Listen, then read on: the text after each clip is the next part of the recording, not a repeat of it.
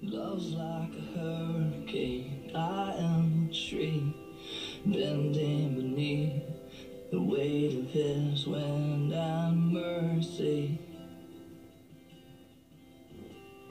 When all of a sudden I am unaware of these afflictions eclipsed by glory, and I realize just how beautiful you are and how great affections uh,